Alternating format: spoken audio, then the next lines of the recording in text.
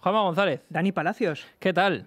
pues bien. Vaya retaila de leyes ¿eh? que, que- que- que- hemos estado sufriendo en estos últimos años. ¿eh? Me lo he estado leyendo todo. Eh, la ley Corcuera, La ley, sí, la- que es la de la patada a la puerta, acuérdate. sí. La ley Mordaza, que últimamente estuvo también un poco de, de moda. La ley de Murphy. La ley de Murphy, eh, que esa es la peor de todas. Vivo o muerto, tú vendrás conmigo. Qué hija de puta la ley de Murphy. Sí. Eh, coño, la de sí es sí, ahora que la que se está liando es, Sí. es tremenda. Sí, es sí. Pero la peor, bueno, la peor o la mejor de todas, ¿sabes cuál es? Sí. La ley Miranda. Miranda, ¿No sabes? ¿No te suena la ley Miranda? ¿no? Paripar, paripar, con Jama González y Dani Palacios. El podcast. Yeah.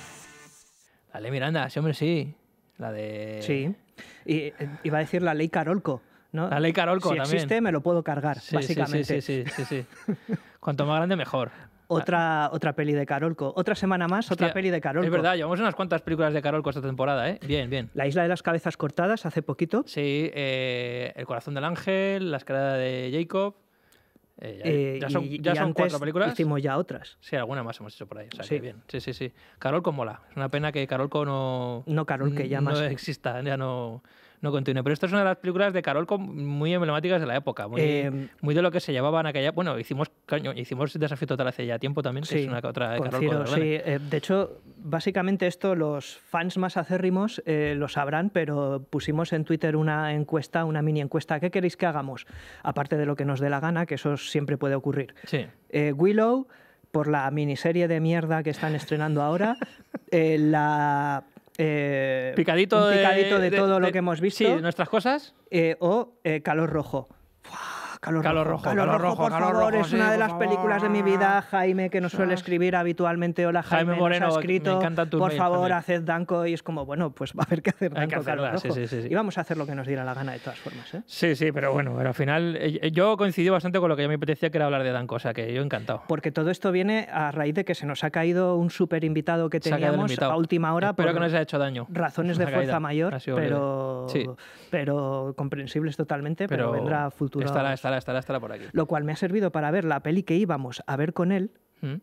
y me ha parecido magnífica. Yo, eh, justo ayer, cuando iba a verla, Buenísima. me escribiste para decirle, oye, que se nos ha quedado invitado, tenemos que ver otra. Entonces, pero estaba Y con la- estabas con el DVD estaba- poniéndolo estaba- no, estaba ya, sí, no, no. Estaba con Disney, con Disney Plus. Que iba a ver en Disney Plus. ¿Está en Disney Plus esa peli? Creo que sí. no, En Amazon. Y en HBO, ¿no? Está en Amazon, En creo. HBO creo que está, ¿no? Bueno, da igual. eh, No sé qué plataforma. Sí, no la ahí, vamos a hacer hoy. Le iba a dar al play y Sí. con, con una así, un, un cuenquito de Kikos y una Coca-Cola. Pero vamos, para darle al play, ¿eh? Y- ¿Cómo te cuidas? Y de repente, no, eh, Dani, tal. Y Calor Rojo. Y maravilla, porque es una película que íbamos Calor- a hacer tarde o temprano. Calor Rojo, que es, es un subtítulo maravilloso que se... No, Re- Red Hit. No, o sea, Red Hit es el título Hit original. Aquí le pusimos el Danco en España. El Danco por- se lo pusimos antes porque dices, coño, cómo mola Asociarlo este a. Schwarzenegger, a ese nombre. Danko. Danko, Calor Danko. Rojo. Haciendo de, de, bueno, ruso comunista, más bien ucraniano, porque está todo el rato hablando de su academia, La Academia de Kiev, ¿no? que haya aprendido a hacerlo todo en Kiev. Todo sí, en la sea, Academia nos de Kiev. poníamos cuencos de kikos y los masticábamos enteros con el cuenco, ¿no? Eh, es como un chiste recurrente de la película, sí.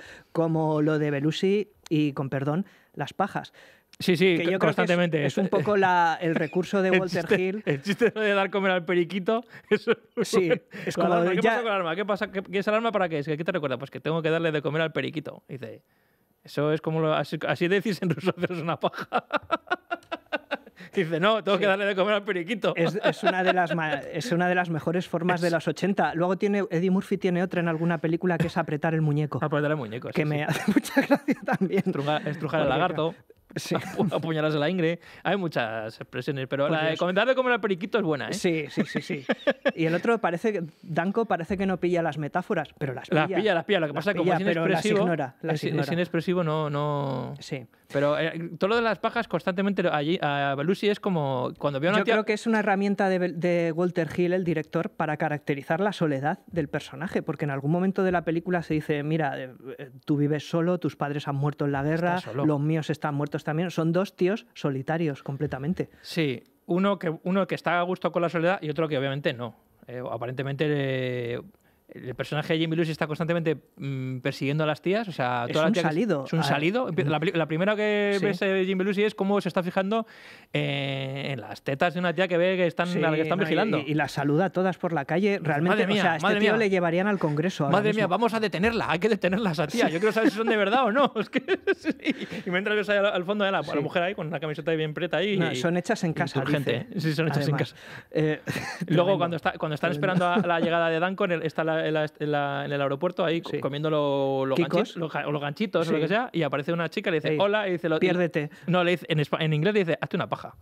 Sí. Y dice, y dice, buena una i- película y obsesionada dice, y dice, y dice, gracias, buena idea. o sea, es cojonudo. Y luego vuelve a tomar nota del tema durante varias veces a lo largo de la película. Sí. Por eso digo que es un recurso. No es que estemos nosotros hablando de este no, es que tema es un personaje que- habitualmente, que también, pero. Sí, pero, el personaje de Jimmy Lucy está obsesionado con. Necesita. eh, necesita compañía femenina constantemente. Y el personaje de Danko aparentemente no. O sea, no tiene ninguna obsesión, nunca, no está casado, no, parece que nunca ha tenido novia. O, o sí, aunque Es un personaje ideal para Schwarzenegger Perfecto. porque eh, aprovecha sus capacidades actorales, y lo digo sin ironía, eh, de una manera perfecta. Él no tiene que hablar mucho en la película, sino que se tiene que desenvolver con lo que mejor hace o mejor hacía en esta época. Palabras eh, cortantes, frases que eh, te destruyen completamente. Sí.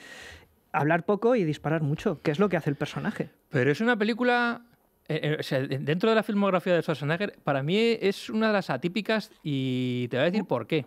Yo creo que la película que más saca partido de Schwarzenegger como actor, y creo que la que mejor está es, eh, iba a decir Comando, no, es Depredador. Creo que es una película que está perfectamente construida mm, para él, para que todo gira alrededor suyo, como casi todas las películas, porque no se puede adaptar a, un a cualquier proyecto. O sea, Schwarzenegger es un tío tan peculiar, con ese físico tan peculiar, y un actor tan peculiar que todos los proyectos, proyectos tienen que estar- ser construidos alrededor suyo. Pero todos tienen algo nuevo, eh, en todos ensaya algo, y aquí Sí. es su química con otro actor. Aquí tiene que tener una química especial con un actor de muchísimo carácter, que es eh, Jim Belushi. Y luego, además, yo creo que Walter Hill le, es bastante generoso con Schwarzenegger y, creo, y tengo la sensación de que creen en él como actor. Sí. Quiero decir, ya no suelta las frases como haciendo guiños, guiños al espectador, Sí. casi que le falta mirar a la cámara así y decir, eh, qué gracioso. Aquí tiene que guardar una compostura y, son- Sí. y- y- y- nunca salirse de ese personaje. Tiene que ser un ruso serio que no juega con la, Claro, con la, hay una barrera idiomática con la que- ironía. que, ni- justifica que, que el tío no tiene por qué hablar mucho. Pero está bien, porque En incluso Terminator era una máquina, aquí es que es ruso, en, un ruso Claro. en América. aquí es ruso, pero aún así no es de las películas en las que menos habla Schwarzenegger. O sea, tiene bastantes diálogos. Sí. Y de hecho hay una buena parte de la película que el tío habla en ruso, que estuvo tres meses aprendiendo Sí. y lo hace bastante bien. Sí. Quiero decir que yo tengo la sensación de que muchos, muchos directores eh, eh, trabajaban con Schwarzenegger como, como, como figura física, como una persona que tiene un físico espectacular y que podría hacer determinadas cosas, pero tampoco sin salirse de unos cauces que él pudiese interpretar. Y aquí Walter Hill yo creo que confía bastante en él. Yo creo que Sí. no solo lo coge como, como actor de moda y físico apabullante, sino como Schwarzenegger como actor. Venga, creo en Sí. ti, te voy a dejar que, que actúes un poquito. Sí, No está mal. No, no es tan mal. Eh, yo creo que a esta peli le falta el, mm, eh, ese punto final de brillantez o de calidad que a lo mejor sí tenían en este sentido concreto Arma Letal o otra peli anterior de Walter Hill, 48 horas, límite 48 horas. Yo creo que, por ejemplo, Nick Nolte y Eddie Murphy eh, había más, había más chicha ahí en los sí. personajes, ¿sabes? Eh, pero bueno, aún así yo creo que es una muy buena muestra de este género No, tan ochentero. Es que esta película descoloca un poco porque tú esperas Sí. una Woody movie más, más, más, más típica. Es que yo creo que el acento está en, en- en el contexto político, en el contraste político, e- en el mensaje eh, sociopolítico de la película. Realmente cada uno de los personajes es una cosa. Uno es América, otro es Rusia. Sí, sí, sí. Eh, Es decir, es un, es un conflicto de civilizaciones, ¿no? Pero, mm, pero ya te digo que yo, yo, yo recuerdo ver esta película de chaval eh, y, y me gustó, pero me dejó un poco descolocado. Yo me esperaba otra película, otro tipo de película de acción de Schwarzenegger. Schwarzenegger más juguetón, más vacilón, más y todo eso caía más en, En Belushi. en Belushi. Y él estaba excesivamente hierático y serio. Claro, haciendo- hacía de ruso, pero coño, no deja de ser una película de Schwarzenegger. Tú quieres a Schwar- a Schwarzenegger vacilón. Sí. Y luego la película, el tono de la película, eh, siempre ya sé que repito mucho lo de los tonos de la película, pero es que es fundamental. Aquí muchas veces los- los- el público se acerca a una película esperando un tono determinado. Aquí es un poco escurridizo para el espectador medio. Es decir, hay momentos que es excesivamente seria. Sí, Eh, hasta siniestra. Y muy siniestra. Eh, no, no, no es para nada ligera. Hay momentos que son, que son como espectador medio para que, que ver una película de acción de Schwarzenegger es como, hostia, esto se está metiendo en terrenos un poquito más, mm, más densos de lo que yo esperaba. Eso es una parte del atractivo de Walter Hill, cuyas Claro. películas pueden parecer genéricas, pero al final siempre tienen algo, eh, aunque sea un espíritu de western o de película clásica de americana. western, sí. Exacto. Eh, de hecho, hay un duelo de autobuses al final. Es ya no lo hacemos de pistoleros, pero es un duelo de, los autobuses. sí, sí, sí. Eh, y luego también eh, eh, lo tiene porque es esa irresponsabilidad de las películas de los 80 eh, que hemos hablado a menudo aquí porque hacemos pelis de esa época. Y es que, eh, por un lado, bromea con asuntos muy serios como la ley Miranda, que es algo bueno y necesario, no, no apalizar a un sospechoso eh, en el caso de no tener que hacerlo.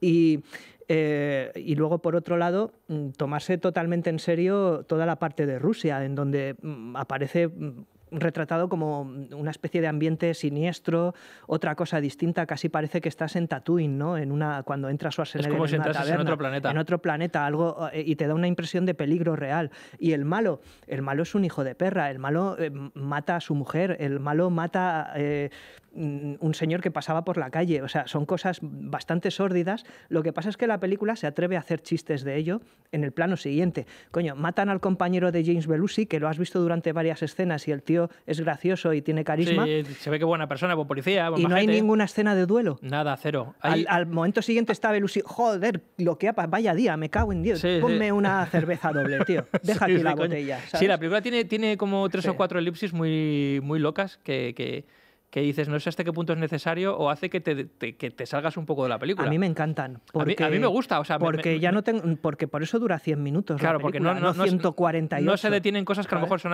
son un poco accesorias y, y- y Mm. no te van a a aclarar absolutamente nada. Lo único que, que puedes hacer es eh, cogerle más cariño a los personajes.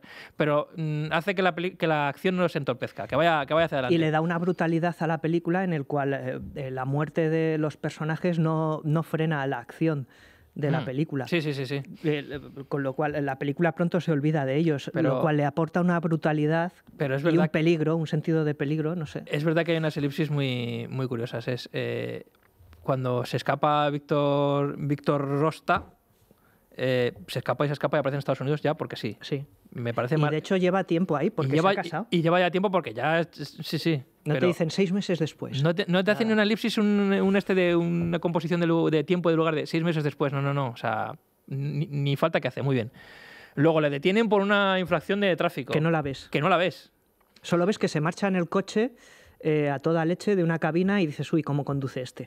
Eso es la Sí. última vez que le has visto antes de. Y luego la muerte de, de. Gina Gerson, por ejemplo, también está en off, no se ve.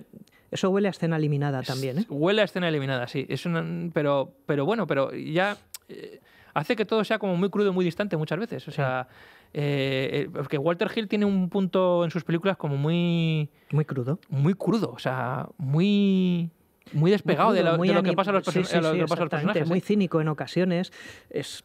eh, A ver, es un tío con un puro ahí, ¿sabes? Eh, Tiene un tío duro, un tiene poco aire- John Milius, tiene ¿no? un- De esa sí, es- generación. Es, de ese rollo. Tiene un aire así como muy clásico en la puesta en escena, muy, muy clásico de los años 30, de los años 40. O sea, su ídolo es John Ford y se nota a la hora de rodar las películas como, como lo hace todo de una manera súper limpia y académica sin complicarse la vida. Sí, Eh, un poco heredero también un poco de la serie B de Don Siegel también claro. y lo que luego empezó a hacer Clint, Eastwood- Totalmente. eh, a hacer Clint Eastwood en sus películas. Yo esta película podía, ser, podía estar protagonizada y dirigida por, por Clint Eastwood también perfectamente. Sí.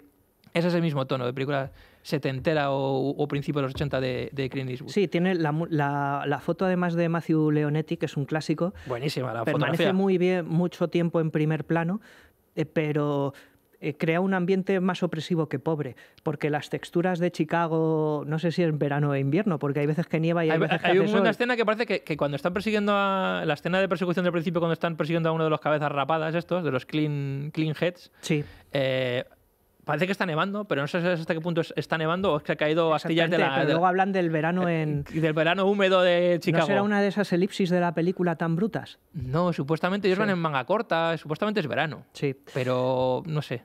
Bueno, no sé, ah, por cierto, estaba mirando aquí, eh, que se me olvidó hacerlo. El guion está coescrito o aparece Sí. en una de las revisiones por Troy Kennedy Martin, que es un... eh, a ver qué personalidad tenemos aquí, porque es una personalidad tan fuerte como Walter Hill. Este tío escribió The Italian Job, la original, la de Michael Caine, con los minis. Y eh, la miniserie Edge of Darkness, que luego hicieron la peli de Mel Gibson al límite, también dirigida por. Martin Campbell, Mm. que es también serie negra ruda. Es, Sí. decir, es un tío Es con, tono, ese rollo, con sí. hechuras. Tiene buenos guionistas detrás esta película, y, aparte del y propio luego Harry Kleiner también estaba en el, en el guion, sí. Sí. Y el propio Walter Hill, que tiene una carrera como guionista muy, Muy importante. buena, aparte de como, como director. Sí. Y, y el, De hecho, la- yo creo que Walter Hill es más guionista o empezó como guionista. empezó más como empezó el guionista, porque la de Getaway, la de Sam Peckinpah, el guion es suyo. Sí, Exacto. Luego él retocó de alguna manera el guion de, de, de Alien también. él Eh, se cierto, metió ahí. Sí. sí, sí, él estaba en Brandywine, la productora, ¿no? Y, y el- Sí. y gran parte de sus películas son, son guiones suyos, o sea, Sí. son, son cosas es- escritas por él. Eh, Nos ha contado muchas cosas, hablando con, con Garci, Garci nos ha contado que ha estado ha conocido a Walter Hill y que ha estado en su casa, nos ha contado Sí. cosas muy de primera mano de cómo es, Sí. de cómo es que además parece ser un tío bastante buen tipo, tiene, tiene Sí. pinta de ser bastante Es una majo. pena que, le, que ya viva apartado de todo, como todos estos directores de, Claro, son de de esta la- generación. En el caso de Walter Hill antes, porque empezó teniendo mucho éxito, pero luego sus películas pronto dejaron de tenerlo. Sí, es como que Y no se adaptó a- estaba muy bien una moda Sí. que, que él supo, supo coger, pero luego No se adaptó a, lo- a las posteriores Las- modas, con no, lo cual no, la industria le, se quedó le dejó- como- Sí. Se quedó como anticuado. También me recuerda, fíjate, no es ninguna coña, eh, y entiendo ahora por qué, por ejemplo, Garci se lleva bien con, se lleva bien con él. Tiene un aire muy clásico, como, muy clásico a veces de- del, del crack de Garci en, algunas, en algunos momentos. Es verdad. Parece muchísimo. Son en los diálogos. de otro universo es otro universo. parecido. Sí, sí, sí, sí. Viven en, eh, podrían ser eh, vivir en el mismo mundo un poco, sí. En el mundo americano hay autobuses que destrozan calles en Chicago y en el español está pero Alfredo Landa recorre todavía- la Gran Vía con su, pero son vasos comunicantes Sí, un sí, sí, poco. sí. Estaría muy, muy bien un, un crossover de, de, de, pues tanto Danko como- o, o el personaje de de, de Jane Belushi y de Ritchik que se juntasen con Areta. O sea, Sí. es es una buddy movie de Areta y Ritchik o Sí. Areta y Danko. Danko y Areta, ¿no? Sí. Estaría, estaría guapísimo, ¿eh? Con unos, unos, niños, yo qué sé, con los niños, los niños de la guerra de Rusia, pues eh, que vaya a investigar Areta Sí. a Moscú con, Sí, sí, sí, sí. con Danko. Estaría de puta madre. Y Pues es una peli súper ochentera en el sentido de que el contraste entre un poli americano y un poli ruso, eh, la película te ofrece esta visión de América como, como realmente un, eh, un lugar de libertad, pero también de decadencia absoluta. Es decir, la, la libertad para Walter Hill también implica crimen. Sí, No claro, si claro. Sí, sí, sí, implica claro, claro. caos, implica violencia, pero coño, es un precio bueno a pagar por la libertad, ¿sabes? Y pega un trago de whisky. Walter Hill, algo sí, así. sí, sí, sí, sí, sí. Para eso están los policías, para mantener las calles limpias. Y luego ¿no? al final te das cuenta como los dos, los dos personajes que son a priori antagónicos, al final buscan lo que les une para llevarse bien. Exacto. Y una es eh, la única manera de acabar con estos tíos, con, estas, con esta mugre, tanto si estás en una sociedad eh, comunista como una capitalista, Sí, al final es una Es- peli sumamente tolerante. es ¿no? cargártelos, o sea, Sí. es, la violencia. Sí, además es sumamente tolerante en el sentido de que el crimen no solo viene de los bajos estratos de la sociedad. En algún momento Danko dice, bueno, es que a vuestros políticos también habría Habría que, que matarlos. dispararlos", ¿no? Eh, y, luego, eh, eh, y y luego básicamente te, te ofrece un retrato de los rusos que en este momento de la película, año 88, eh, eh, es conciliador. Sí, que el estaba. protagonista sea un ruso y que Schwarzenegger haga de ruso resulta novedoso. Sí. Fue la gran estrategia comercial de esta película. Es que ya la Guerra Fría estaba ya dando sus últimos coletazos, ya no... Y el- había que pasar página. El principal enemigo de, de la, de la América de, de, de Reagan y de Bush no era ya la Unión Soviética, ya sabía, yo eso, eso ya estaba ya, estaba a punto de caer el muro de Berlín, estaban ya dando sus últimos coletazos. Entonces, el principal problema de Estados Unidos era la droga, precisamente, Sí, en aquel momento. Y de hecho te está diciendo, como Rusia se está abriendo, lo principal que está a- afrontando ahora es que le está empezando a entrar droga. Eh, claro, sí, sí, sí. Entonces eh, eh, eh, te está también diciendo que Rusia está haciendo, está haciendo los deberes en ese sentido, ¿no? Eh, en ese momento. Y Luego ya muestran- sabemos lo que ha pasado recientemente, Sí. pero bueno. Y te muestran un personaje mm, soviético pues que es, que es simpático, es el y que, y, y que empatizas perfectamente con él y te das cuenta perfectamente que también él es un, de alguna manera también es, es una víctima de un sistema en el que, con, la que, con el que tiene que convivir Sí, y que lo lleva de la mejor manera Sí, posible. eh, luego hay una escena muy tardía en la película porque lo bueno de Walter Hill y no ser conciliador ni, ni tratar de masajear al espectador, es que los cuatro datos, las cuatro pinceladas de los personajes que te ofrece te las da muy tarde. En esa escena en la cafetería, que es la única, en el único momento en donde ellos dos parece que se Hablan sí relajan un poco sí. y hablan de sí mismos. Y eso ocurre en el minuto 80 de la película, antes de que. Donde un que la- momento antes de que Do- se. do- donde vemos que, que- acabe todo. que- efectivamente, que, Sí. y además que vemos que, que el personaje de Danko lleva solo toda su vida. toda su vida. Sus abuelos murieron en la, guerra- en la, en la Segunda Guerra Mundial, sus padres también murieron relativamente cuando era joven, y él se ha debido de crear en un orfanato, la ha Sí. debido criar el ejército soviético, o sea, siempre no, no tiene mujer, no tiene hijos, parece que nunca ha tenido novia, siempre ha estado solo. Sí, y luego eh, Jim Belushi, eh, sus padres murieron ya mayores, Sí. tiene una hermana por una ahí hermana y que- básicamente que- nadie más le aguanta. Tiene una hermana que está separada, que, que su cuñado que es un cerrajero no le pasa la, Sí. ¿Quién, la es el, pensión. ¿Quién es el actor que hace de cerrajero? Me suena Sí, un montón. es eh, ¿Dónde le he visto? Mike Haggerty, sale en, en Friends, por ejemplo. Coño, claro que sí, el amigo de Fre- el vecino de Friends. El vecino ¿no? de Friends, sí, sí, sí. sí, sí, sí, el portero, no sé si el Sí, portero es era- uno de los, de los Sí. que hacen la las cosas, el Oh. edificio y tal. Sí, sí, era, es ese tío. Correcto, sí. Y además la peli tiene este aspecto de culto al cuerpo tan ochentero, con esas Durante- imágenes de la sauna al principio. Dios, tiene momentos que es que eso es muy de los 80. Eso es mágico, tíos. O sea, es que súper ochentero. Es, es una puta locura cuando llega cuando vemos un gimnasio eh, Sí. ruso, soviético, con, con esa sauna, que, con ese vapor. Pero ¿cómo, ¿cómo entras al gimnasio? Porque al principio Walter. Hill te engaña, eh, que es el aspecto sórdido de las películas de Walter Hill. Parece que estás en un sótano mugriento con tuberías y hay un tío como apretando tuberías de vapor y luego la cámara panea un poco y estás en una sauna, en un gimnasio en donde la gente hace pesas desnudos. eh, Con chicas desnudas Con en chicas un- desnudas ahí en, en- un, en un spa, en una sauna, spa, ¿eh? sí. O sea, un lugar súper extraño, o sea, un lugar de, de- de sauna de chueca o peor, pero, pero lleno de culturistas. Sí, pero con, la- pero con el momento Ah, que sí. te, te meten para que no haya- para que no te hagas tú tu paja Sí. mental, te meten unas chicas desnudas para que no sea eso eh, la fiesta de, de Chueca. O sea, Sí. pero parece la fiesta de Chueca. O están Sí. todos ahí ah, sudando. Sí. Sale el, el- el- el cachas con gafitas, que es como que le da un punto intelectual. con, con estos trapecios enormes, con las gotitas de sudor. O sea, es una película como que se recrea en los cuerpos, al menos en esa escena. ¿no? Pero es una escena que está rodada Sí. como si fuese la típica escena de taberna de western, que es, entra el forastero en Que una- luego tiene una en una taberna de Sí, western, pero son dos escenas de taberna de western. Y aquí con el culto al cuerpo que tiene en, varias, en varios momentos, porque la película luego nos enseña cuando llega a la cárcel, cuando están en la cárcel, que tienen la conversación con el Aya, el Aya Abdul, también ves a los negros ahí que están machacándose. Sí, que es Y- una cárcel de verdad de Chicago. Sí, sí, ¿eh? los extras son, son, eh, son presos le- de verdad. le- Les dijeron en uno de los pequeños documentales que salen en este DVD, que es el DVD normal de Universal de hace mil años, em,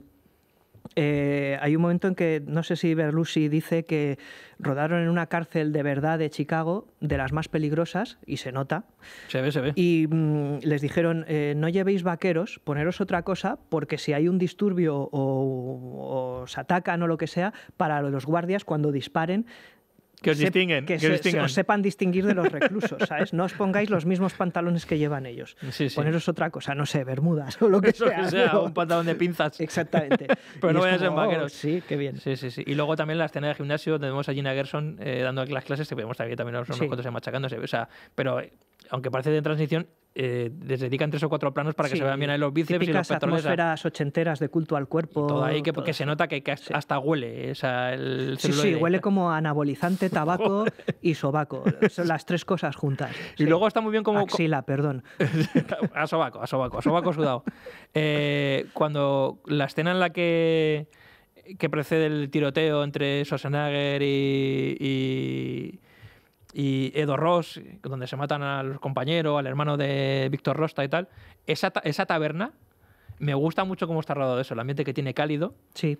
y de gente que está intentando disfrutar de la vida. Me, acordé de Asbestas, que la acabo de ver, la de Sí. Sorogoyen, cuando entran ahí en el bar gallego. Pues Es ellos están, es ellos están ahí tocando el piano, Más pequeñito. pero- están disfrutando, o sea, quiero decir que te da, te da un- Ostras, y el que toca el piano se parece a Joel Silver un montón. Se parece tío. muchísimo, sí. No sé si será un cameo, no lo creo, ¿eh? no lo he visto. en Pero si te das cuenta eh, eh, cómo cambia el hecho de, de que Walter Hill, los productores, intentan dar una... una mm, un- intentan mostrarnos una sociedad amable, las- ya, ya no como los enemigos, ¿sabes? Sino como unas Sí. víctimas de un sistema, Sí. ¿sabes? Y que ellos están Sí. allí intentando pasárselo bien intentando hacer su vida lo mejor, lo mejor posible. Y los ves ahí cantando, viviendo, disfrutando. Y esas caras bien. en el entierro del compañero que matan, el, del policía compañero que ocasiona la venganza de Danko, eh, son caras de, de- la lista de Schindler. O sea, Sí. es como esta pobre gente lo que, ha- lo que han pasado en un invierno perpetuo, ¿no? Pero De- luego Walter Hill, que siempre ha sido un tío Sí. que asociado a, siempre se ha, se ha dicho que es un director de derechas, eh, también te, te saca el lado malo del, del capitalismo y de la Claro, y del que es de- el crimen, es el, el- es desorden, el, caos. el, este el crimen y, y el hay un momento muy divertido en el que le dicen a, a- La libertad también significa delincuencia, de alguna sí, sí, manera, sí. ¿no? Sí. Y- pero luego que todo es todo es más farragoso, todo hay un papeleo de por medio, no, no hay una solución instantánea a los, a los, a los, a los conflictos, ¿no? Que de alguna manera los comunistas sí que, los- sí que tienen una manera más directa de solucionar los problemas. O sea, no tengo que justificar a nadie el que yo me cargue a un malo. Y en, en una sociedad democrática, no, tú tienes que justificar por qué matas a un malo y tienes que escribir un informe. Y Sí. tienes que, y tienes Jo, que explicar. Y tienes, que, y tienes que explicar por qué has hecho esto. Entonces hay un momento en el, hay un momento en el que ves a, a, a- a Jim Belushi con una máquina de escribir escribiendo un informe que es como.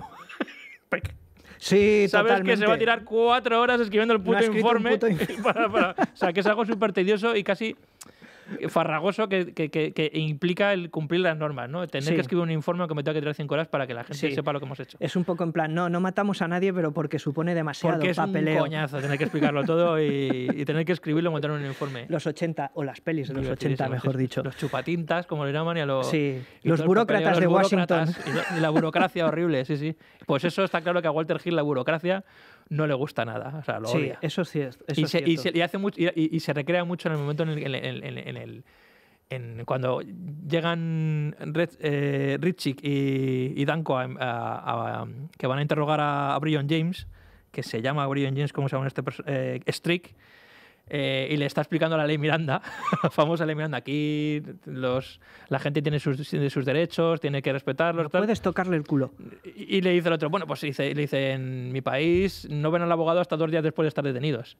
Y llega y le dice, pero ten cuidado. Y le llega y lo primero que hace Danko eh, a Brion James es cogerle la cabeza y estampársela contra la mesa.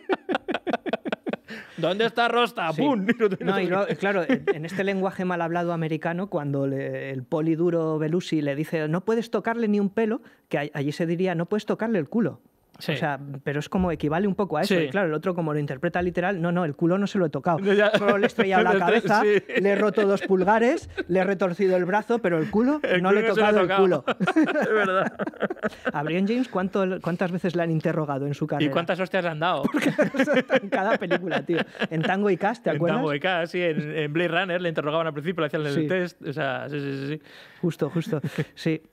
Eh, pero por un lado, como película política, es una peli en donde se reconocen las virtudes del rival y humaniza a los Sí, rusos. sí, sí, sí, sí. ¿Mm? Y- Ahora que la cosa está más suave, podemos. Y, eh, e incides en tus defectos, en las cosas que no van, mal- que no, que no van bien en tu sociedad. ¿eh? Eso, Sí. está, eso, está, eso está muy bien. ¿eh? En plan Sí. de que, pues eso, en- nuestro sistema democrático está muy bien, queda muy bien, pero, pero gracias a, a este sistema la mugre se nos cuela. Pero claro- Y tenemos que ser, y, y- y tenemos que ser magnánimos con ellos y, ser, y, tener mucho cuidado. Tenemos que respetar siempre las reglas porque Sí. hasta el malo tiene derechos y no podemos atajarlo, aunque se merezca ese tío una muerte directa, pero hay que, hay que hacer las cosas Pero bien. mola que se le vea al plumero en el sentido de que Rusia, o sea, vamos a ver las calles de Moscú, ¿no? Por cierto, primera película Primera, en donde roda- se rodó sí, en primera Plaza película Roja. americana que, ro- que permitieron, permitieron rodar en la, en la Plaza Roja, es cierto. Que al final hay- dedican un plano maravilloso que se ve eh, el Kremlin así de fondo Schwarzenegger Schwarzenegger saludando, Sí. que está, est- estuvo allí rodando. Sí, sí, sí. Sí, para que se vea que hemos llevado a Schwarzenegger, que dicen en el Así se hizo que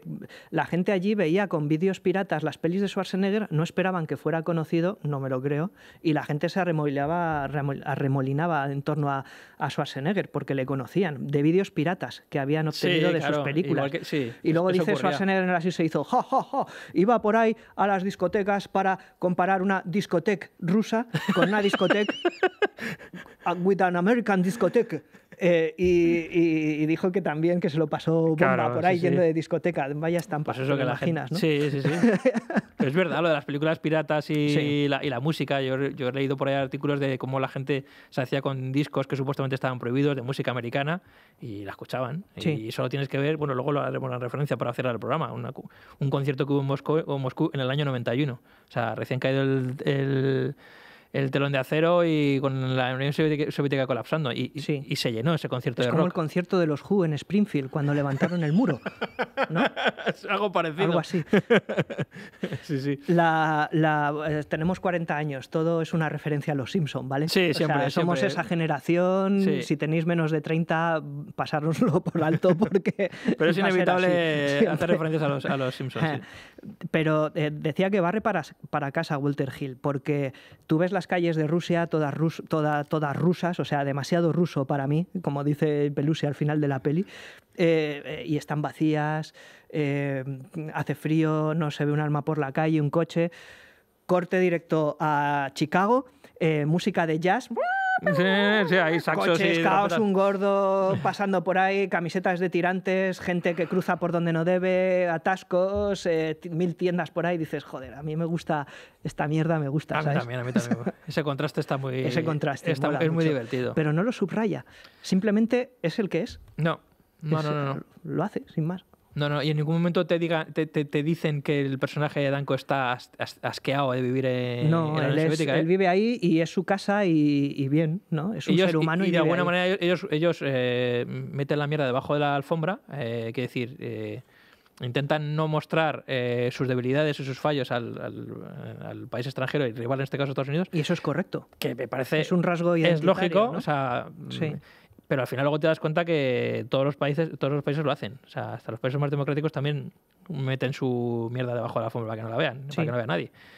Y aquí llega un, momento que al final eh, tienen una- a mí lo que me gusta del, del- del- del- enfoque de, de Walter Hill es que no, no hace sangre de eso y y, lo, y, y- y no, po- No, podría, no. podría aprovechar ese momento, ese momento coyuntural de la, de, de la capa caída de la Unión Soviética para meter el dedo en el ojo para Y decir no lo "Eh, hace, es mierda de sociedad que se conciliadora". está cayendo y no Es conciliadora, sí, la película. En el es un poco como es- diciendo Es así, sí. es un poco como de una manera de una película esta es la película que os iba a invitar a, a- a- digamos que, os- que- con la que abro las puertas para que vosotros empecéis a formar parte de, no- de lo que nosotros hacemos ¿no? Sí. como sé que os vais a caer que os vais a meter una hostia monumental Sí. y este sistema se va a caer esta película es la manera de la que yo venga os abrimos para que vengáis con nosotros si sí, queréis luego a la vez como serie negra, digamos que no tiene concesiones, lo- No, claro. hay muertos por doquier y, y es políticamente incorrecta en la forma de hablar, como eran las pelis en ese momento, al menos para mayores, y, y tal, pero sí, en ese sentido la película es compasiva. conciliadora. Es conciliadora. y compasiva sí sí, Sí, sí. Y luego pues tiene este momento de ver el- el- la cadenita que se mete por la raja del culo de Schwarzenegger en la escena de la sauna, que es algo que no puedo, no puedo olvidar, no puedo desverlo, no puedo dejar de verlo, Sí, sí. ¿sabes? Cuando va con, el, con un tanga, por lo visto con un hacía hilito colgando. por lo visto Ahí en el fondo. Eh, ¿Por qué? Rodando, ¿Por es- qué? rodando esa escena donde se le veía el culo a Schwarzenegger, simplemente tapada por el selito, él hacía demostración de la capacidad que tenía de. la habilidad que tenía de, mo- de mover cualquier músculo, músculo de su cuerpo. Tú sabes que es muy típico, lo típico de mover los Sí, bíceps, ta, ta, ta, como Terry Crews, ¿no? de mover, sí, plop, plop, plop. Pues eh, podía hacer exactamente lo mismo, pero con sus glúteos. Podía hacer con los glúteos como moverlos de manera descompasada. Y lo- se lo mostró a Walter Hill y a varios en plan de, mira, mira lo que soy capaz de hacer. Y, y hacía con el- los cachetes, plop, plop, plop, plop, plop. es un cachondo Schwarzenegger. Schwarzenegger eh, debe de ser lo mejor, tío. O sea, es súper divertido. Es lo puto mejor. Y lo hemos, Sí. hemos hablado muchas veces de él, de, de su capacidad como actor, de cómo, de saber de sus limitaciones, de saber qué es lo que podía hacer y lo que no, y cómo gracias a eso, de ser tan autoconsciente de lo que podía hacer y lo que no, se, se labró una carrera espectacular con auténticos peliculotes que ya quisieran muchos grandes actores. Esta película, yo creo, tengo el vago recuerdo de leer cosas en la época, fue percibida como un semifracaso. No tuvo tanto éxito como se pensaba. Es que coincidió con los Me gemelos golpeando dos veces. Se estrenó a la vez Se, y la se gente fue a estrenaron ver en masa prácticamente, la se estrenaron el mismo año y la otra sí que fue un auténtico pelotazo y esta funcionó, pero no tan bien. Y que es una película que, insisto, tiene un tono excesivamente serio para, lo que las Y películas de que Schwarzenegger. la crítica también, eh, como Walter Hill venía de películas, eh, bueno, la de Límite 48 horas es básicamente el mismo género, pero Sí, como esta, es esta se percibe movie. como una repetición poco original del esquema arma letal. Entonces dijeron que era poco Walter Hill para Walter Hill, con lo cual ni chicha ni limoná. Durante muchos años se percibió esta película como, como tal cosa. Sí, una Pero- película menor de Walter Hill y una película menor de Schwarzenegger. Pero a luego Sí. a nosotros, pringaos, hacemos una encuesta en Twitter y todo el mundo dice, quiero que hagas Danco Calor Rojo, ni Willow ni Gaitas. ni Willow ni leche, sí, sí, sí. Danco Calor Rojo la he visto todas las semanas, la he visto una vez desde, bueno, entonces es un- que tienes un problema igual, pero no lo juzgamos, ¿vale? Pero Es muy, es, es muy buena peli. O sea, es- eh, Sí. Tiene un. Ya te digo. Tiene a lo mejor los problemas de la época en las que la gente no supo acercarse a ella como era, que era una película más seria de lo que realmente parecía, más allá, más allá de los puntos de comedia que te rías mucho con Belushi y con, y con el contrapunto de los, dos, de los dos actores, de los dos personajes, pero es como película de género y película de la época es, es espectacular. A mí me parece que Walter Hill es, todas sus películas lucen bien y esta no- a lo mejor no es la película que mejor luce de todas, pero eh, mm, se nota la Tiene se- atmosferilla. se, se tiene- nota la atmósfera de Walter Hill, se nota el, el clasicismo de Walter Hill a la hora de plantear las escenas, eh, con ese tan clásico de, de western, como tú has dicho, que es capaz de, tras- de trasladar un duelo de western a un duelo de autobuses.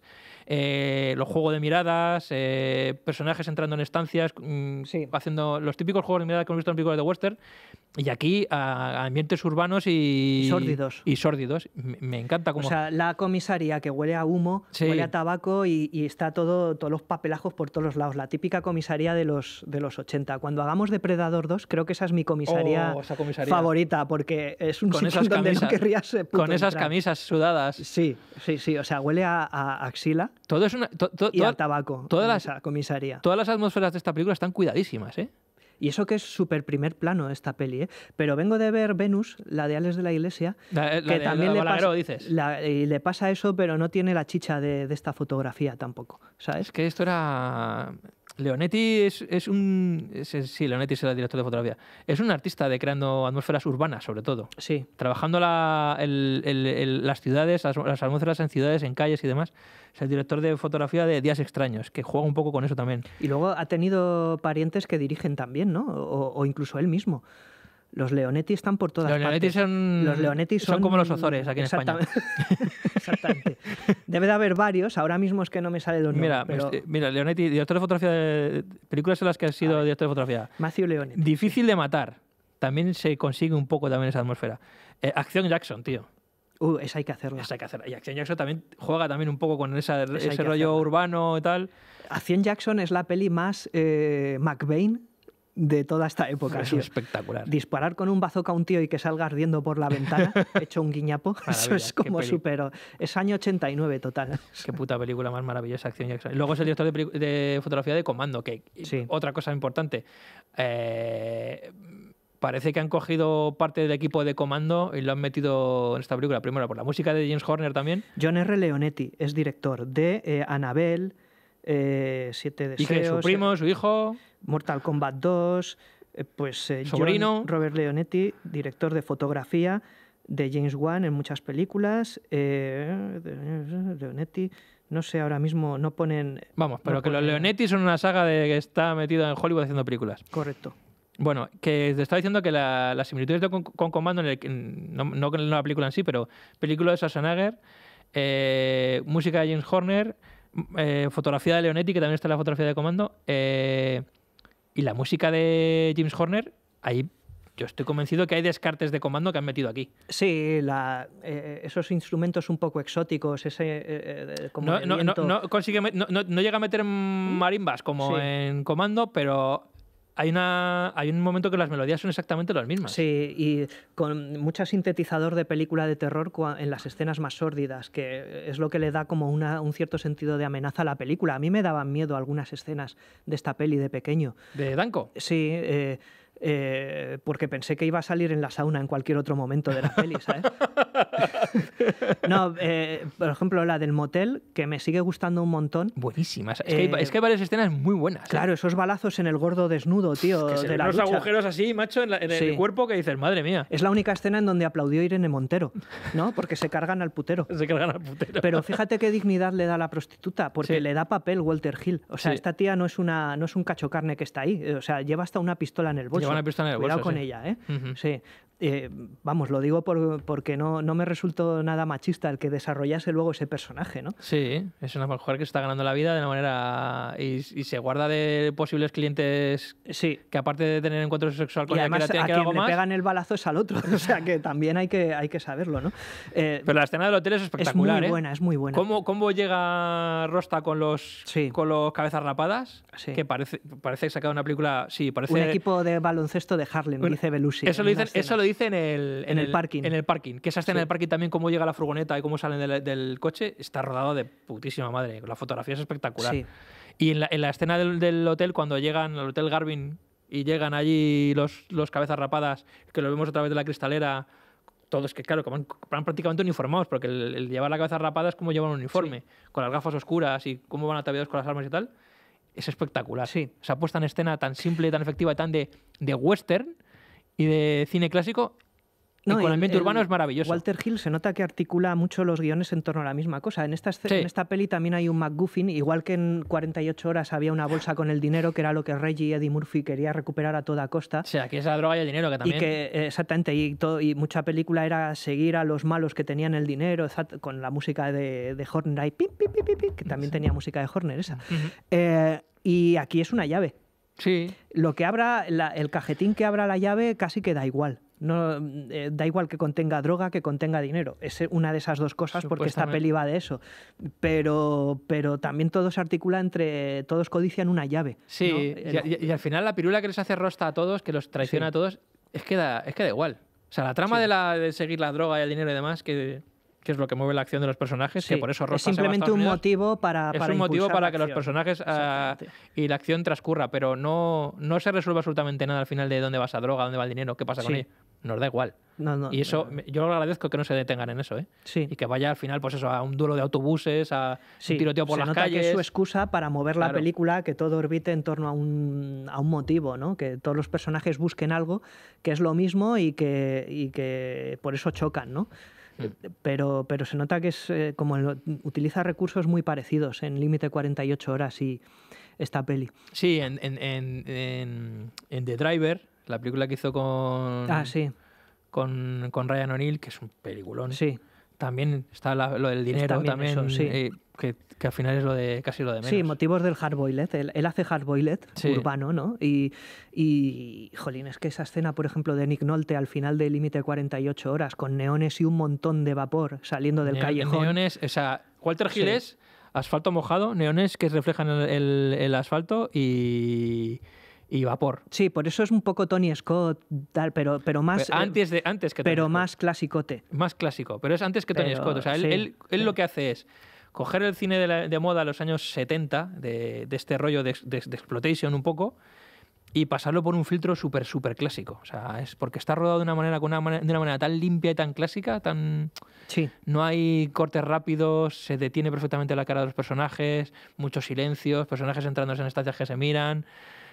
Todo súper, súper limpio. y una Inclu- economía incluso, incluso en Calles de Fuego, Sí. que es una película más, Ah, sí. más ochentera, más... sí. También sigue respetando el- el- el- el- los clímax típicos de- del, del western. Antes hablábamos de elipsis y de cosas que no se cuentan en una película aparentemente muy sencilla como esta.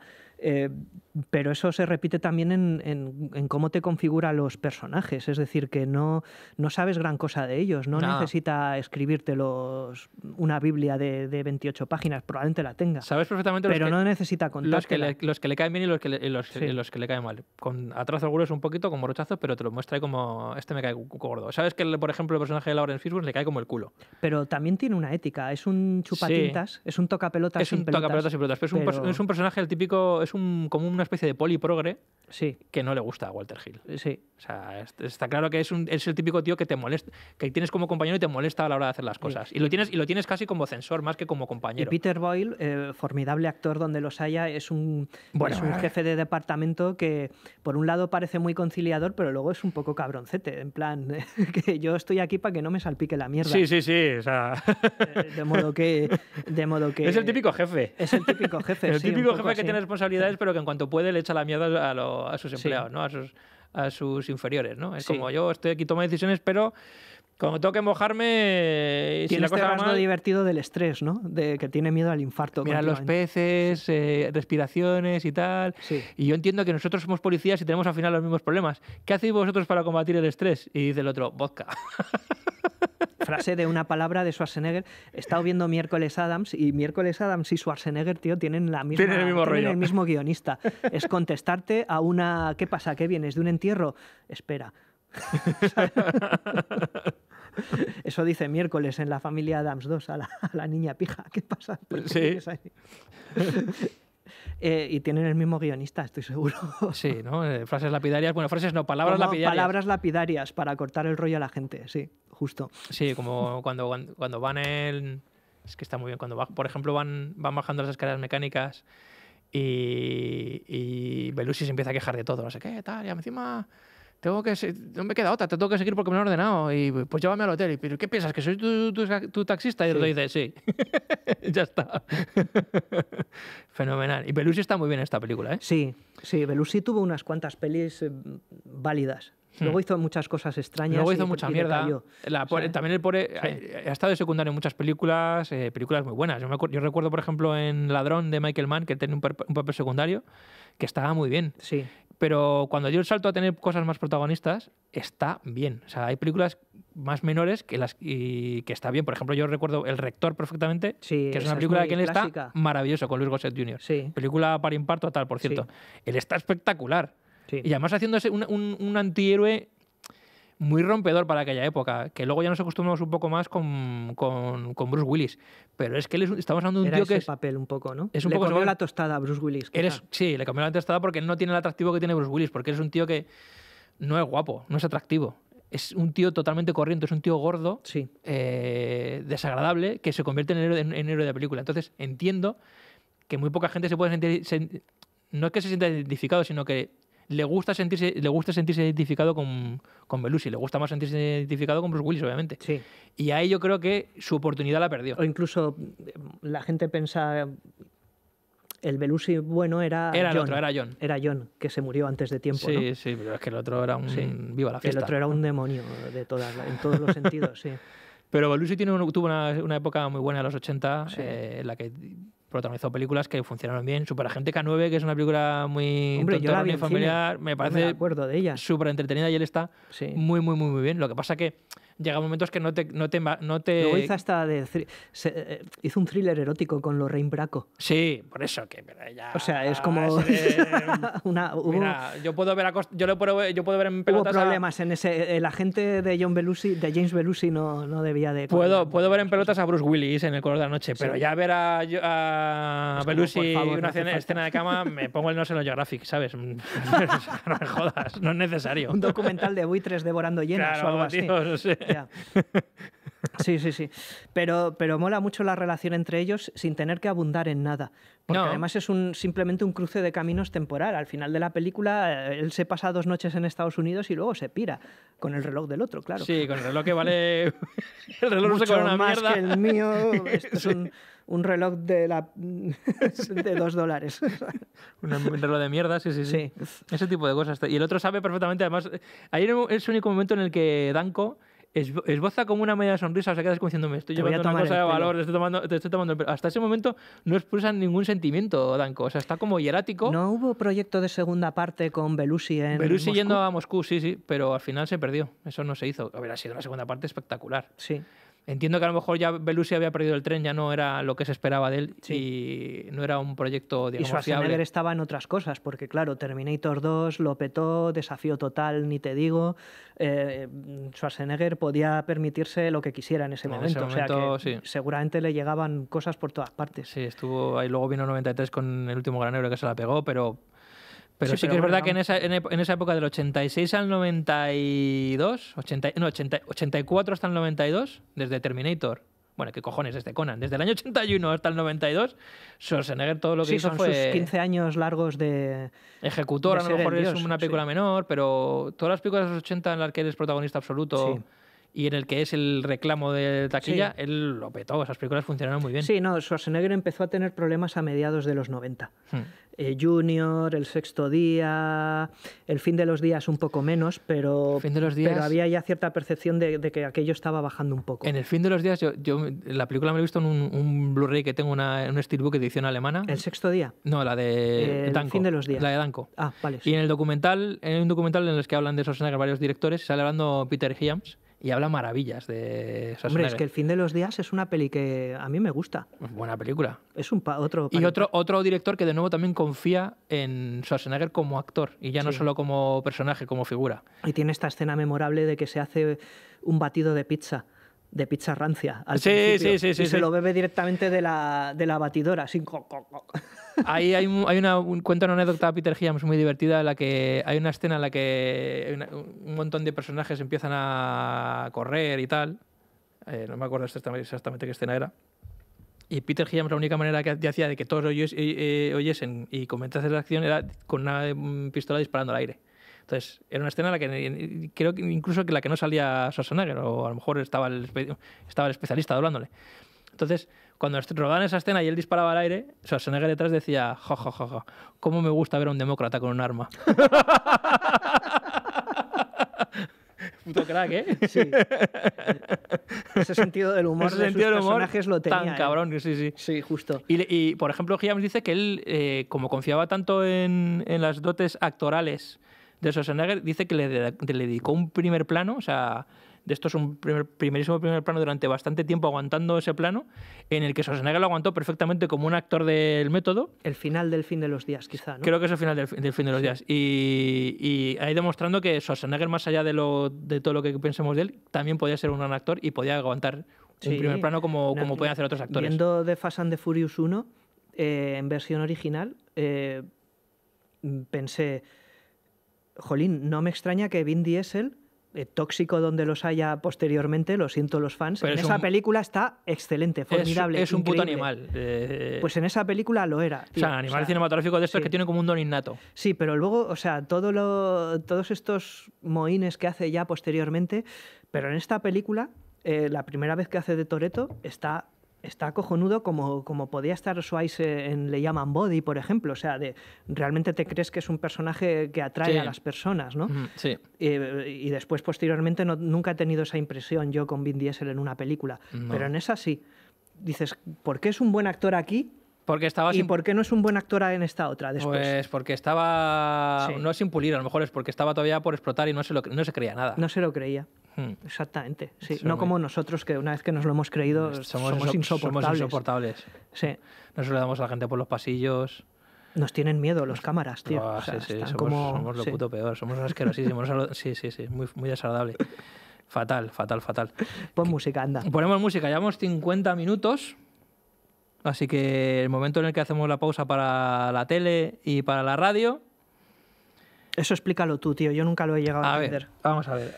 Nosotros tenemos un podcast que esto, la gente que lo escucha en, escucha en podcast lo va a escuchar entero del tirón. Vale, la- esto su- es un podcast. esto es un podcast. Pero también puedes verlo en YouTube Eh, en o en YouTube. LDTV porque Claro, lo en YouTube sacamos. va a ver el- va a ver- van a ver el, el podcast entero, pero sin la música. Porque no y puedes ver derechos. nuestros prodigiosos cuerpos Sí, esculpidos como si fuésemos saca- sacados de un gimnasio de Moscú. como en el gimnasio del Moscú, exactamente. En, en el, en el vídeo de YouTube no hay música, en el podcast sí. En la tele dura 50 minutos el, el programa, 50 y tantos minutos, y no, escu- no se escucha música. Es decir, ahora aquí, cuando ya voy pase la música, en la tele se acaba el programa. Sí. Y te quedarás con ganas de más y quedarán otros veintitantos minutos que tendrás que buscarlo en el podcast o en el vídeo de YouTube. Sí. Y en la radio, eh, en la radio ahora da- mm, nos están poniendo, mientras hay Mundial de Fútbol, nos están, poniendo los, nos están poniendo los programas enteros. Sí. De, o sea, nos respetan la música y todo como si fuese el podcast. Pero cuando se termine el Mundial, nos volverán a poner los domingos por la noche, pero en versión corta, Sí. 50 y tantos minutos. Con Sí. música, pero versión corta.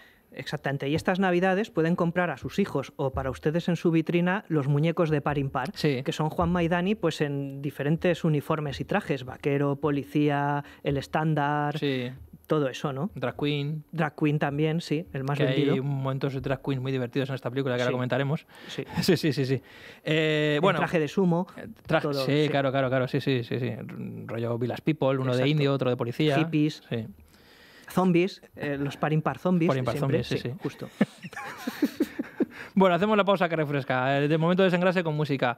Como la película transcurre en Chicago, eh, pues digo, pues ponemos a Chicago. Sí. A la banda, la banda de rock Chicago, que es maravillosa. Y tiene una canción que a mí es mi favorita de esa banda, que se llama 25 or 6 to 4, que es un auténtico temazo. La ponemos y cuando termine de sonar la música, pues volvemos. ¿Te parece bien? Perfecto, dilo como Carrascal. 25, 25 or 6 to 4. 4.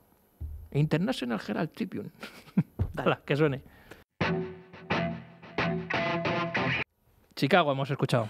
Buen tema. Temazo. Temazo, temazo, temazo. ¿Tú quién querrías ser? Eh, ¿Danko o Riztik? A ver, lógicamente mola, mola más Schwarzenegger, ¿no? Yo querría ser Danko, pero en realidad sería Rittik. Sí, yo es también. decir, el gracioso que tiene una frase perfecta para cada momento de tensión, ¿no? Sí, sí, sí, sí, pero nos gustaría. Todos, además, de pequeños queremos ser como Schwarzenegger, joder. Sí.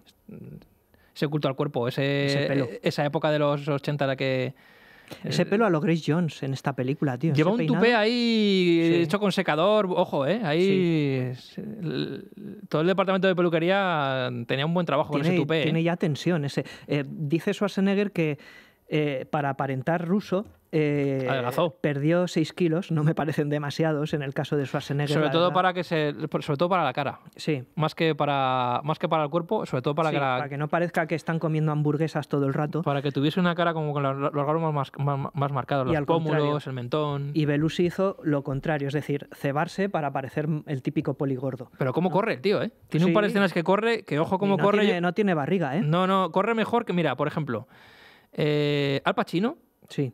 No, el Pachino no sabe correr. corre fatal, macho. Yo no sé Sí. por qué se empeñan en porque lleva siempre dos, dos tallas más grande el Y va pantalón, tío. pasitos pequeños, va con los brazos así, es como. no va- nunca va a llegar a coger a quien, a quien persiga. O sea, Es como un Lego, ¿no? pero Belushi tiene un par de momentos que corre que dices, ojo, este tío. O sea, Sí. como personaje de acción, corre bien. ¿Cómo se sube al, al autobús cuando está el autobús en marcha? lo típico que te enseñan en la academia de policía el primer día, que es pasar por encima de un coche, ¿no? Sí, sí, sí. Ué, Claro, claro. Eso es, eso es de primero de academia de, De policía, de Chicago. naturalmente, sí, sí. Deslizarte por el capó de un coche. Exacto. Sí, por un coche en movimiento, además, que, que frena justo en ese momento, ¿no? Si te das cuenta, Sí, Schwarze- Schwarzenegger. Esto es una pregunta que hago. ¿Cuántas veces hemos visto a Schwarzenegger correr en sus películas? Pues muy pocas. Pero No corre, tío. en desafío total, quizá, pero no es correr, es huir, que es distinto. No está persiguiendo, está siendo perseguido. Es que yo me fijo Y mucho. siempre hay gente por delante que, que las pasa por encima. Me fijo mucho. eh, Esto me parece una chorrada, pero esto también demuestra cuando uno es un buen actor o no, o cuida un poco la puesta en escena de su cuerpo. Puesta en escena de su cuerpo, ojo, ¿eh? Es decir, cómo quedas, cómo quedas en pantalla corriendo, comiendo, haciendo Es que claro, todo eso se tiene que mover. Y esas, cosas, abajo, y esas tío. cosas se trabajan. Parece el muñeco de Michelin igual corriendo Schwarzenegger. Yo entiendo que Schwarzenegger corriendo con ese cuerpo es muy difícil que corra bien. Entonces, él, me imagino que por contrato o por... Él tiene una pistola para alcanzarte, no necesita Sí, correr o sea, detrás tuyo. No hace falta, claro. Con ese, pero, pero yo creo que es una cosa que he hablado con los directores y con, con la gente, en plan de, yo no corro. Sí, Y si corre, que sea un, mi- un, un- un doble, porque yo no voy a correr porque Sí. no corro bien. Y nunca vas a ver la cara de Schwarzenegger y él corriendo. O sea, cuando veas un cuerpo co- corriendo que es que, que es supuestamente Schwarzenegger, vas a ver que no es su cara. sí. Harrison Ford corre también como No corre bien. siempre, No corre pero bien. yo creo que lo hace a propósito, ¿sabes? Siempre es como por la tensión, ah, que van a matar a mi Va mujer. corriendo, corre Eh, también siempre, descompensado. eh, exactamente. y no mueve, no, mueve, no mueve los brazos, va como también así un poco monigote. No, pero por ejemplo, Tom Cruise mueve mucho los brazos corriendo eh, y da zancadas muy grandes, es su es el- manera de, correr. seguramente es el mejor corriendo. Sí, exacto. Mel Gibson corre muy bien en Arma Letal, Mel Gibson corre de puta madre. porque corre cabreado, además. Will Smith ¿sabes? corre de puta madre. Hombre, en Bad Boys Bad Boys, o sea, pero Sí. coño, pero hay que, es que hay que, saber correr. hay que saber correr, sí. Eh, una- la único que no me gusta de Nunca Hit, digas que no estoy a tu lado, le dice a Martin Lawrence Sí. cuando le salva. lo único que no me gusta de Hit, por ejemplo, Sí. de la película de Michael Mann, de Robert De Niro y Al Pacino, es que la, la- la escena final, la persecución final de Pacino persiguiendo a De Niro, y esto ya lo, ya lo he comentado. O sea, ¿no te crees que en la puta vida, jamás, ever, o sea, nunca, Pacino corre. Pacino alcance a De Niro? sí. O sea, según les ves corriendo en esa película, o sea, De Niro saca- está ya en su casa y el otro está empezando a correr. Tú ves a De Niro cómo corre en esa película, que De Niro también corre de puta madre y dices, Sí. joder, qué agilidad, cómo corre el tío, cómo va. Sí. En las escenas de atraco y todo, cómo se mueve, cómo... Es grácil, está como un gato. Y ves al otro que va, Sí. que no puedo con sus huevos, o sea, va... Al Pacino es bueno relamiéndose eh, Pacino, y eh. mirándote pícaramente, ¿no? Pachino es ¡guau! ¡guau! porque su culo es genial, eso de puta madre. Pero que se ponga a correr o a, a saltar, no. Sí. No, no, no, Eso es de hit, ¿verdad? No, Sí. no. Incluso en, incluso en el final de Carlitos Way, que me encanta, o sea, Sí. Como al final cuando coge a la a cuando- Penelope Miller y va corriendo, va, va corriendo con esos pasitos de mierda que dices, joder, Sí. corre fatal. De hecho, en Melodía de Seducción, al, principio, al final de la peli, cuando va, va tratando de volver a recuperar a, a, a Ellen Barkin, eh, se choca con un transeúnte de verdad y Sí. casi le tumba. Y es la toma que está en la película. Es famoso ese- esta anécdota. Eh, es decir, ellos van por la típica acera de Nueva York, Pacino va detrás ahí todo pequeñito con el Barkin, "Ey, pero no sé qué, no sé cuál". Y de repente pasa un tío y ¡fua! se le lleva por delante literalmente. Y Se nota que eso no estaba. se parte el culo de risa, eh, como diría en, en, en Y se Impactar parte el Se culo. parte el culo de risa, como en Pactar con el Diablo, y echa a correr detrás del Te- embarking. Y es la toma que está en la película. Tenemos que hacer podcast de Pactar con el Diablo, ¿eh? Sí. Que siempre la hablamos de Bueno, ella. La- En sí. cuanto podamos, en cuanto Estoy pueda. deseando volver a verla. Hace muchos años que no la veo. Mm, Yo la he visto hace poco y me parece la hostia esa película. buena, Es ¿verdad? divertidísima, tío. Mola mucho. A mí me voló la cabeza cuando la vi. Bueno, era joven, ¿no? Pero era como, jolín, vaya peliculote. No me lo esperaba para nada. Y Pachino desatado, Pachino haciendo lo Sí. que le da la gana, tío. Sí, en el metro ahí, cogido ahí con el... Pero como un tío tan pequeñajo, macho, tiene luego esa presencia, tío. Sí. Y luego hay películas que puede llegar a acojonar y puede pues, Sí. tener... Lo que pasa es que no le, pon- que no le pongan a correr. O sea, ya no Sí. porque ya tiene todos los años, ya parece Matusalem, No, no. pero se empeñaron en ponerle a, Hay un vídeo que yo lo vi por correr. Facebook no- eh, de Al Pacino que yo no sé si es consciente de que tiene un paparazzi a 250 mi- kilómetros de él con un teleobjetivo y que le está filmando por la acera y está Al Pacino Sí, con los cascos eh, bailando y cantando ahí. y está ah, ¿sabes? Así. Eso muy bien, eso lo hace muy bien. Sí, está dando vueltas, o sea, dices, madre mía, está loco, está loco, ha perdido el control. Eh, Al Pacino bailando por la acera de su barrio. Al Pacino, repito, bailando por la acera de su barrio, vestido como un pordiosero. Me gusta Al Pacino cuando también en, en algunas de sus Sí. películas, eh, cuando va, está preparando una comida o una bebida o hacía haciendo algo que hace así con las manos, hace... Y coge las cosas así como de manera que no hace nada, pero Sí. parece que está haciendo algo. Sí. es como Homer no, Simpson y cuando no hace se... absolutamente nada, pero... Otra referencia inútil a los Simpson. Homer cuando se ilusiona hace... Así. Si tú te das cuenta, por ejemplo, la escena, en la escena del billar de Caritos Goyes, que parece que, está, que ha preparado una cosa y hace cuatro cositas de toca así. eh, Pues ha haciendo un truco genial. Oh. Y no hace nada, coge, o sea, Sí. mierda pura. O sea, pero simplemente por los gestos, por cómo los hace, parece que, est- que está haciendo un montón de cosas. Es como, te está haciendo una super receta y no Sí, tomas unos nachos con, con, do- con y no hace nada. guacamole de, La hostia, es de maravilloso. bote. Ese- la gente que tiene ese don de, de- de aparentar mucho sin hacer nada, eso me parece genial. O sea, eso es Sí. un don. Y es, bueno, es- es toda mi carrera laboral, básicamente. la de muchos otros. bueno, vamos a retomar un poco de Calor Rojo. La escena. Es que Ah, era hay- la peli de hoy, ¿no? Sí, sí, era la peli de que hablamos hoy. ¿Te acuerdas cuando hicimos Calor Rojo? Hace una hora y media. que tiene muchas escenas que son muy buenas, que son recordadas. La del hotel del tiroteo con la prostituta. eh, la del. El garaje, el- cuando salen los. los- que son. Que son los ca- cabezas rapadas, pero que son realmente son los panteras negras. sí. La escena de la cárcel, la conversación que tiene con eh, Elijah Abdul, esa, esa escena es muy buena. En donde te dice que Estados Unidos se ha levantado con la sangre Con la sangre de los negros. Sí, sí, sí. Y él, la- su venganza es desde la cárcel es intoxicar a todos los blancos. O sea, venderles toda la droga que, pu- que pueda a todos, los- a todos los blancos. Sí. Y al final, más o menos diciendo como, bueno, yo... Como diciendo, yo... Vosotros hacéis lo mismo, pero con, con- con vuestro pueblo, ¿no? Y poniéndose un poco en, pues criticando un poco el sistema comunista. Y bueno, da igual. El personaje de Abdul, que, es, que es muy pequeñito, que no tiene ninguna trascendencia al final de toda la película, pero esa escena es muy divertida. Eh, y luego la escena de la enfermera, tío, del, del compañero de Víctor vestido de mujer, de enfermera, eh, Mm. matando al, al superviviente del tiroteo del principio, Mm. es maravilloso. O sea, Mm. y cómo, la, mat- y cómo la- se lo cargan ahí por la espalda atravesando el cristal. Sí, muy Blade Runner. ese muy Blade momento. Runner, muy de palma también un poco por el Sí. vestido de mujer. Sí. Es muy buena esa escena. Ahí Walter Hill no explota un poco el, el aspecto terrorífico de, de que una enfermera con una inyección. Tarantino lo hizo. Mucho, ¿no? Tarantino lo hizo, sí, sí, sí. Que venga ahí a envenenarte, ¿no? Que Pero te venga a matar Está metiendo el aire, vemos la cara de. Y, y- y luego lo divertido de, de que Lucy se fija en la enfermera como diciendo, "Oh, madre mía, qué Sí. enfermera. Como se fijan, pues todavía no. es como un loco que había en mi pueblo que le Es pasaba como lo una mismo. broma al personaje de Belushi por ser tan salido, ¿no? Es Sí, una sí, broma sí, un poquito retorcida, diabólica. Y luego, y además, es muy gracioso porque cuando ven que está muerto dicen, la enfermera. Enseguida creen que es la enfermera que es el tío disfrazado. Sí. ¿Tú sabes que había uno en mi pueblo, un loco en mi pueblo, que, que estaba tan obsesionado con las mujeres que, que le pasaba lo mismo que a Belushi? Que era, era, o sea, era- le podían poner un tío disfrazado de mujer y no se había dado cuenta que era un tío. Estaba tan nubilado que, venía, que Sí. solo veía una mujer. Aunque le pusieses un tío con bigote, vestido de mujer, él veía una mujer. Sí. Ostras. ¿Sabes cómo se llama el loco? ¿Cómo? Patro. El patro. Patrocinio. Esto es real, no me lo acabo de inventar, se llamaba Patro. Estaba en, la, en, la, en, la, en, la- en- en una terraza de la, de la plaza del- del- de, mi pueblo, de Villanueva del Pardillo, estaba siempre asomado y, y salía en calzoncillo, salía, le faltaba media oreja. Sí. Y es el patrón, uno de los locos del pueblo. Y pasabas y te, y te decía, "Ch, eh, chaval, che, Pues che, con esa descripción no sé por qué no nos ha conseguido che". uno. Do- No, ya se murió, el pobre patrón ya se murió hace Va a tiempo. ser por eso entonces. "Ch, Chaval, eh, ¿dónde vas? "Ah, ¿De dónde irá? ¿De dónde irá? Y lo oías que hablabas, ¿dónde irá este? ¿Dónde irá? ¿Dónde irá? y tú ahí no, no te parabas, claro, porque si te parabas a hablar con él estabas loco, te tenía de media hora. Patro. Patro era como Belusi. No sé qué más. ¿Qué más? Eh, yo ya he dicho mi escena favorita, la del hotel. Es buenísima, tío.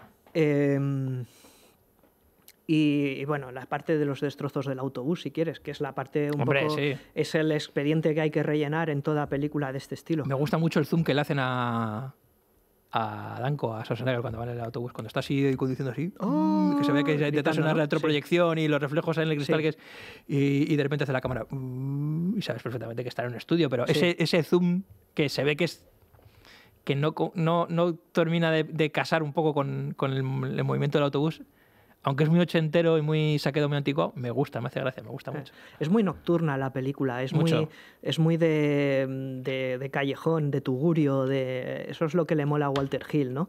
No son lugares simple- si- eh, limpios y prístinos, ni, ni- No, no, no, no, no. es todo, todo está usado, todo es eh, Se ve la roña, se ve sí, la- todo sí. es roñoso, todo es peligroso, ¿no? Está, está bien, es un poeta urbano, ¿no? Sí, sí, sí. Sí, sí. A mí me gusta el rollo clásico que le mete a todo, tío. Eso es lo que Eh. me, fascina. Luego hay, hay, un, hay un detalle muy curioso cuando está en el hotel, cuando firma Danko su, en el libro del hotel para registrarse. Justo encima de Danko hay una firma de un cliente y el cliente es Jim Morrison. El cantante, Sí, de- hay un el- cantante de los Doors. sí. Jim Morrison. Lo ha puesto por ahí, o una no sé si es, una- es, una, es un guiño o algo, es un, pero dije, coño. Es el típico plano en donde te haces el cameo, ¿no? Te pones la firma Puedes como poner, el sí. director o el productor o quien sea, ¿sabes? No Sí. sé.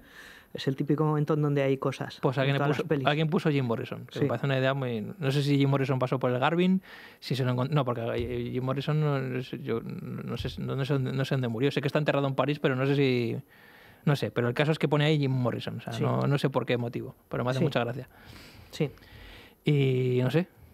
¿Qué no sé, pues poco más, poco más. Luego eh, eh, Walter Hill continuó eh, explotando la fórmula en la segunda parte de 48 horas, 48 horas más, Ah, sí. y esa película sí que no funcionó, definitivamente. Pues se metió un castañazo bueno, ¿eh? La hicieron muy tarde y, y- y supongo que fue peor la peli, aunque yo me acuerdo de varias cosas. Tendría que verlas las dos seguidas. De todas formas, la, la segunda tiene que ser peor, casi seguro. Sí, pero no Porque estaba había mal. como una decadencia de Eddie Murphy y del propio Walter Hill ya.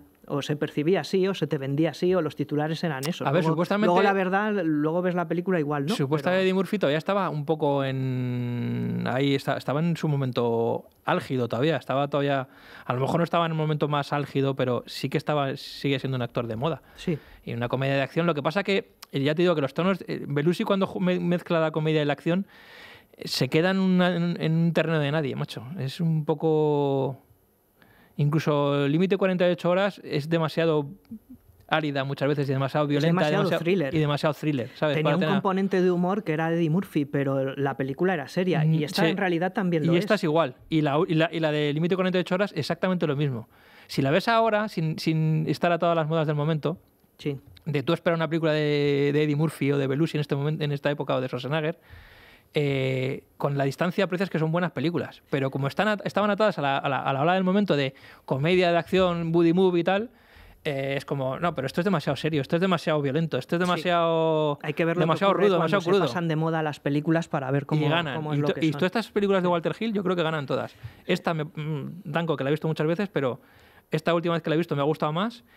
Y 48 horas más, que hace mucho que no la veo, estoy convencido que me va a gustar mucho más que... que cuando la vi. 48 horas te va a, te va, te va a gustar más. Eh, es muy buena peli, ¿eh? Sí. Bueno, pero es, Es, que muy buena peli esa. Mm, y. Nick Nolte está fenomenal. Y Eddie Murphy también lo mismo, pero Walter, Nolte, Walter Hill, sus películas, Sí. con el tiempo han ganado prácticamente todas. A lo mejor Supernova no. No, esa es de Alan Smithy. Sí, es de Alan Smith, sí. Pero El Luchador, que es su primera película como director, es una puñetera maravilla, Sí. con James Coburn y Charles Bronson. Esa no la he visto. Maravilla. The Driver, que la vi hace relativamente Ah. poco, espectacular. Y ves ahí que en Windy Renf fusila la peli, Sí. aunque la de, la de Renf mola. Eh, The Warriors, tío. The Warriors es un- una película de culto que además es- te- también está hecha, macho, eh, está fotografiada esa película de maravilla. Forajidos de leyenda, hostia. ¿Y cuántos- clásico maravilloso, ¿Y buenísimo. cuántos guiones habrá metido mano, además? Muchas.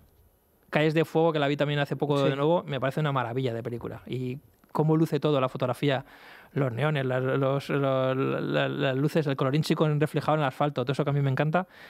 Eh, los ambientes de, dentro del, del club, las persecuciones, las- los tiroteos, todo está muy bien. Eh, Walter Hill tiene una mano para dirigir este tipo de películas como muy pocos. Ese- esa, esa, esa capacidad de mezclar lo nuevo y lo antiguo, pero respetando, siendo muy, muy, muy, muy respetuoso Y con lo antiguo, ese típico escenario de motel de puteros siempre. en todas sus películas. Desvencijado, hecho una, hecho una puta mierda, todo, que todo se cae, que las, las puertas están El podridas. típico el- alojamiento de Nueva York de 5 euros y medio cuando... O sea, de tío que te recibe con la, con Sí. la camiseta llena de mierda. eh, sí. Sí. sí, eso lo retrata, pero que es muy típico de western, pero de nuevo lo que he dicho antes, trasladado a un ambiente urbano. Es Motel de taberna, ¿no? O algo así. Una puta maravilla, Walter. Hill. Muy, muy bueno. Pues, Pues hala, Walter. Walter, nos quitamos el cráneo contigo. Nos gusta mucho Walter Hill y haremos alguna película más suya. Tío. Sí, Calles de Fuego. Calles de Fuego a mí me, A ti te gusta más que a mí, pero me es una encanta. peli- Y tiene un reparto, tío. Sí. Sí. Muy, muy bueno. Willem Dafoe mola muchísimo. Michael Paré. Rick Moranis, tío. Rick o sea, Moranis. Sí. eh, Diane Lane está guapísima. Sí. Muy buena peli, tío. Y me gusta mucho el vestuario. O sea, y este rollo atemporal que tiene, que no sabes dónde dónde, en, en qué época está ambientada la película, Sí. por los coches, por la ropa, Sí. la música. Es como un batiburrillo de, de- de- de algo totalmente atemporal. Hay como constantes anacronismos, pero. Y dices, bueno, si no me han dicho qué, época es no, no es, no es anacrónico, es como si hubiese un- fuese un universo paralelo Sí. en el que el tiempo ha transcurrido de otra manera. Me gusta mucho Galles de Fuego, tío. Me encanta, me flipa. Pues eh, bueno, nos la apuntamos para otro día. Sí. Eh, Cerramos esto. cerramos esto. Nos vamos a despedir con Pantera. Y dices, ¿pero qué cojones? ¿Pantera? Pante- Bueno, Pantera primero Pantera por Rosa, Pantera Negra, Pantera de los grupos mm, de mm, Black Panther. tejano de, de metal. eh, de Phil Anselmo, de Buck Darrell, Bruce Abbott, eh, de los hermanos Abbott y de Rex Brown. Eh, se murieron los hermanos Abbott, a uno lo mataron y otro se murió hace relativamente poco de un, no sé si fue un infarto, de un cáncer, no recuerdo. Y Pantera, obviamente, lleva más de 20 años separados, pero se van a juntar de nuevo. Están los que sobre- sobreviven, Rex Brown y, y Phil Anselmo, se juntan con Charlie Benante, que es el batería de Anthrax, y con Zach Wild, que es el guitarrista de Black Label Society y guitarrista habitual de Osbourne. Se han juntado, van a hacer gira y van a hacer, van a de Metallica. ¿Pero por qué Pantera? Porque Pantera en el año 91 tocaron en Moscú. Cuando se acabó... Y se- derribaron el muro. con prácticamente guitarras, es con, ese, el bajo. con ese concierto ¿no? se derribó el muro ya del Sí. todo y el telón de acero ya cayó del, cayó, cayó del todo. ¿Para qué sirve el bajo en todos los grupos? Es pues para derribar muros. Hay gente que dice que para nada. O sea, que hay- sacaron una- un este en Mundo Today hace poco, en las Sí. distancias de coñas de los bajistas reconocen que su instrumento no sirve para nada, ¿no? Pues yo creo que viene de ahí el chiste. Aunque malo. la gente que le gusta la música sabe perfectamente que el bajo es fundamental porque es la base rítmica de la música, aunque hay que tener el, el oído entrenado para descubrir dónde está el bajo es el bajo. fundamental en todos los grupos. Siempre. En par impar también. El bajo, sí, aunque en la sintonía que tenemos no hay bajo, es solo una guitarra, pero bueno. bueno, pues eh, Pantera tocó en Moscú en el año 91, en agosto del 91, eh, el- ante un público inmenso, donde, claro, tú, como tú bien contabas, o sea, ¿cómo es posible que los soviéticos, la gente más allá del muro, conociese a nuestros Schwarzenegger, ¿no? Conociese sus películas, pues por películas piratas. Pues con Pantera, con Metallica y ACDC, que tocaron en ese, en ese concierto, pasaba exacta- exactamente lo mismo. Se juntó mm, no sé cuántos millones de jóvenes rusos a escuchar Metallica y se sabían las canciones porque durante, durante tiempo habían, habían estado escuchando Sí. eh, a esos grupos de manera Ilegal. clandestina. Vamos. Sí. Así que nos vamos a, nos vamos a despedir con, con Pantera can- tocando Cowboys from Hell, pero no la grabación del disco, sino la grabación del concierto de Moscú. Y ya está. Perfecto. Hasta la semana que viene. No, eh, hay que fundir al saludo sí, de... sí. eh, con, el, Schwarzenegger con, al la- final. con el Kelvin aquí de, eh, aquí de fondo, así. Ahí tenemos esa... Bueno, tenemos ahí la... Eh. Hala, hasta luego. Paripar, paripar, con Jama González y Dani Palacios. El podcast.